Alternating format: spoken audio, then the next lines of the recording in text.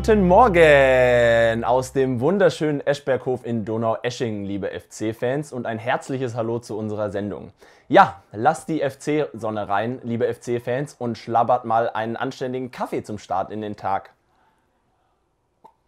Miam, miam, miam. Aus der Morgentasse schmeckt es einfach noch besser. Gut gestärkt geht es in den Wochenendspurt. Achtung, mega Überleitung.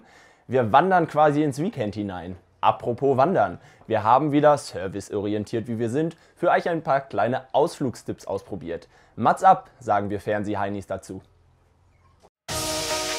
Wir kennen ihn als Spielanalyst. Doch heute tauscht Hannes Dold Notebook gegen Wanderrucksack. Heiligsblechle, das ist auch ganz schön gut. So, ich würde sagen, wir gehen mal auf Wanderung. Los geht's. Gehen wir in Richtung Matte. Zeige euch mal gleich ein was.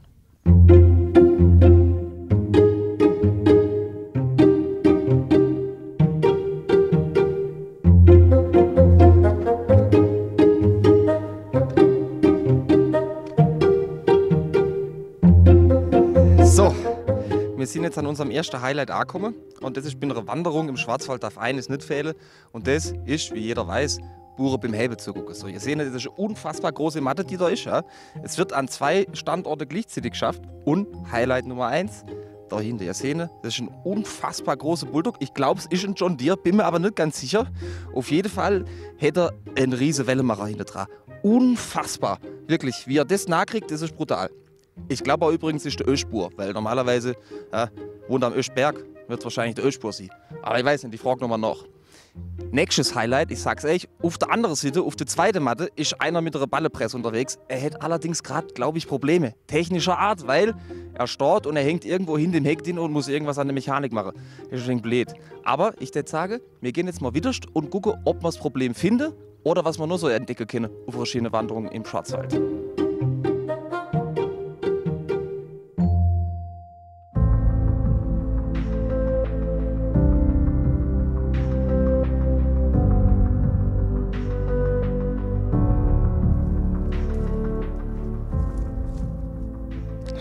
Ist das schön.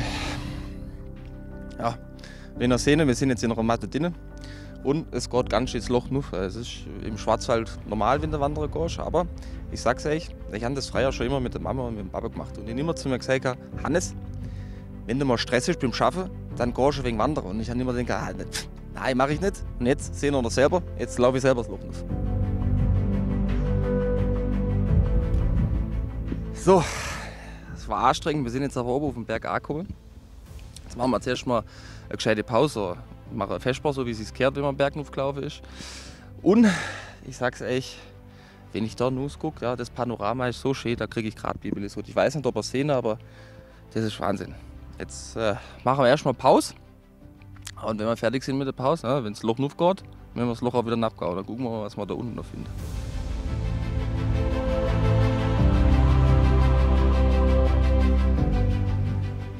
So, meine Liebe, wir sind jetzt unter angekommen, ja, an diesem wunderschönen Weiher.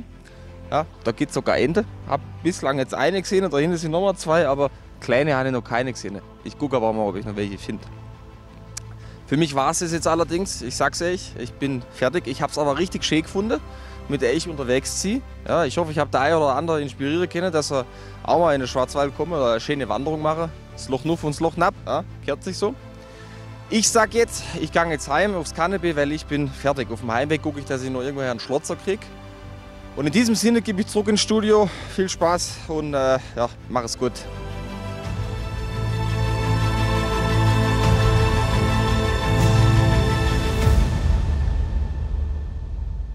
Ja, geh auf mein Herz und suche Freud in dieser schönen Sommerzeit. Merci, Hannes. Meine Waden sind jetzt schon in innerer Vorfreude, mal selber loszukraxeln.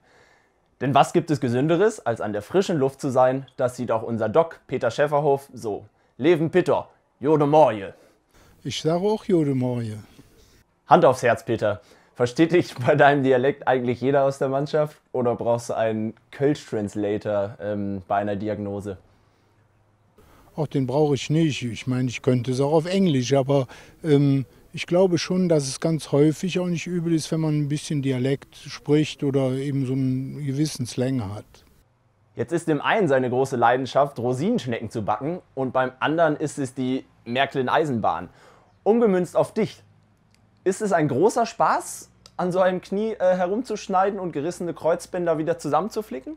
Also ich habe eben noch jemand erzählt, es ist echt so, wenn ich ein Kreuzband operiere, sitze ich da und denke, und du kriegst auch noch Geld dafür. Also mir macht das einfach totalen Spaß und ich mache das gern. Und ich glaube, das Entscheidende ist aber, dass man die richtigen Leute operiert. Weil das macht nur Spaß, wenn man saubere Indikationen operiert und nicht einfach so wahllos jeden verhaftet. Jetzt hast du dich mit Paul Klein hier abgewechselt im Trainingslager. Habt ihr auch dasselbe Zimmer benutzt und die gleichen Unterhosen? Nein, wir benutzen verschiedene Unterhosen, weil meine müssen etwas größer sein. Der Paul ist ja schmal. Aber ansonsten sind wir schon richtig, also nicht nur Kollegen, sondern Freunde. Danke, Doc. Und nichts für ungut, aber ich hätte nichts dagegen, wenn das hier unsere einzige Begegnung für die Saison gewesen ist. Ich sage es mal ob Kölsch, mach Idiot. Alles klar, ihr macht gut auch Jod. Ach herrlich. Einfach ein so sonniges Gemüt, dieser Peter Schäferhoff. Ähnlich sonnig wie die Aussichten beim Wetter. Non, einen Parapluie brauchen wir hier wirklich nicht. Denn das Wetter ist très bien. Correctement, Toni?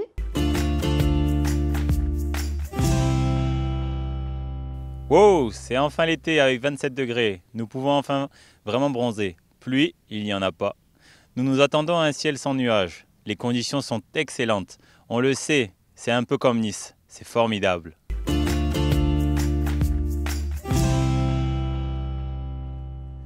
Merci, Monsieur, c'est bon perspektiv. Solch magnifiken Aussichten haben wir sonst nur, wenn wir durch die Feeds vom FC scrollen. Das war er, der Einsatz für unseren Internet-Dulli Icke. Ja, super, danke Timo. Jetzt ist es offiziell, das Internet hat neue Vorsitzende und zwar der Steffen Baumgart. Grund ist ein Video, das vorgestern gepostet wurde und komplett durch die Decke gegangen ist. Quasi direkt viral. Und das schauen wir uns jetzt mal kurz an.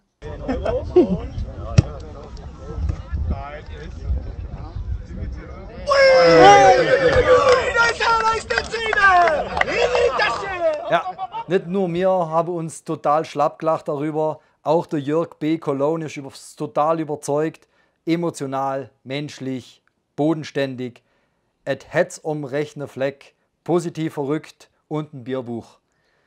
Der richtige Mann für unseren FC. Und dann fügt er die indonesische Flagge hinten dran. Warum auch immer, das weißt nur du, Jörg. Der Martin Bö sagt noch bei Twitter, wer sagt denn, dass er nie lacht?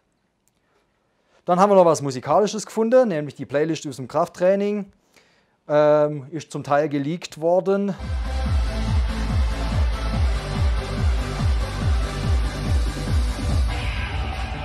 Hyper, Hyper sage ich nur. Ja, der Jonas E180, sein Geschmack war es nicht ganz.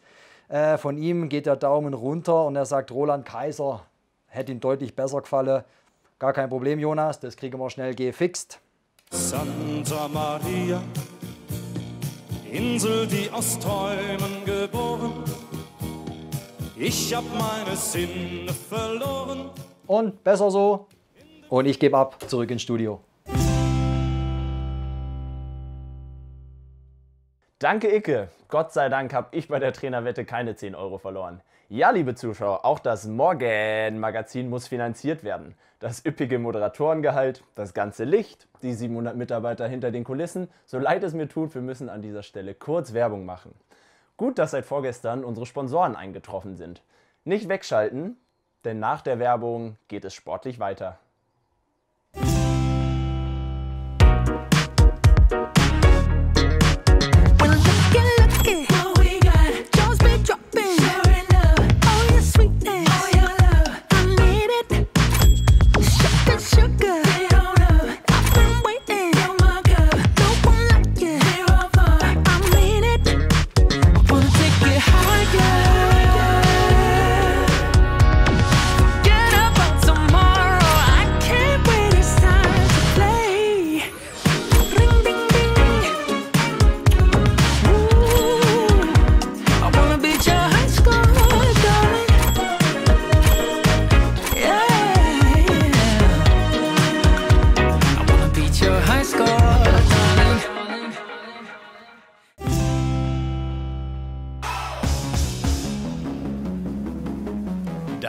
Tier des Tages.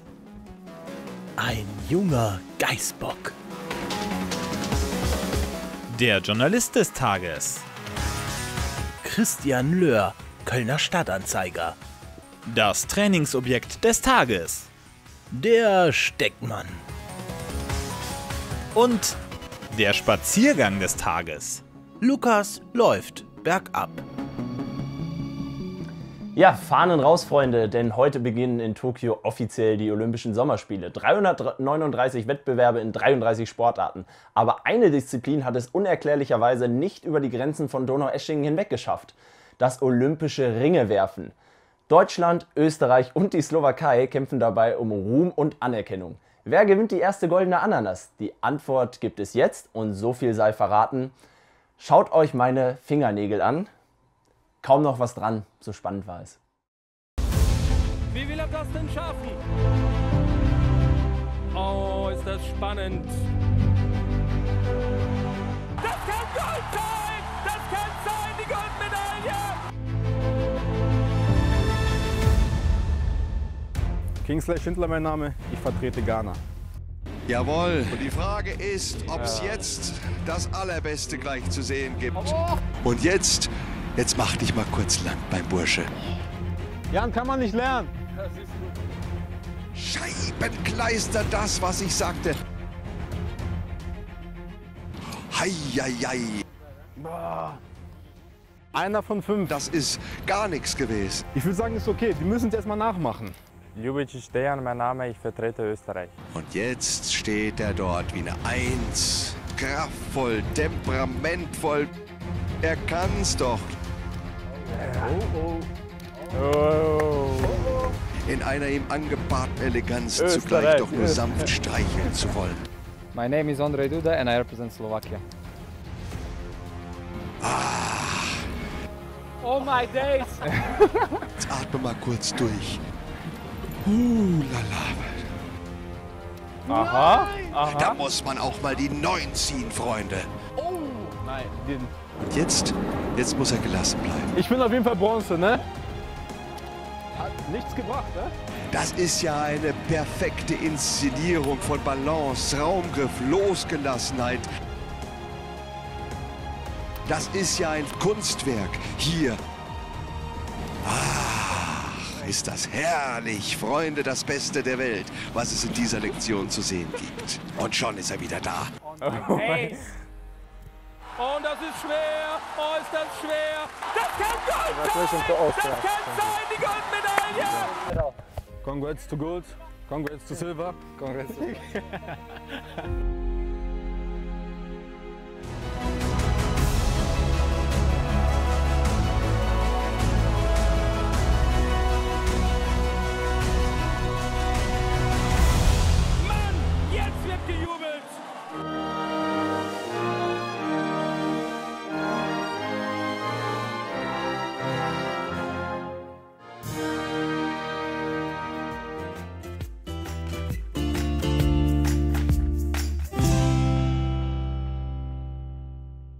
Boah, das freut mich sehr. Ich hatte un unangenehme Gegner, muss ich sagen, aber das ist meine Disziplin. Verdienter Sieger, muss ich sagen. Ja, das kommt vom, vom Palatschinken machen, glaube ich. Weil ich sehr oft Palatschinken mache, passt das äh, zu der Disziplin. Die Olympischen Spiele von Donaueschingen haben gerade begonnen. Da sind sie auch schon wieder zu Ende. Genauso wie diese Sendung. Verabschieden will ich mich auf Japanisch. Und Achtung, Subarashi Kinyobi to Subarashi Shumatsu oi oinori shimazu. Watashi o nomae Atimo Hübers. Shoishuku ni Harakumi o Tabeyamazu. Sayonara!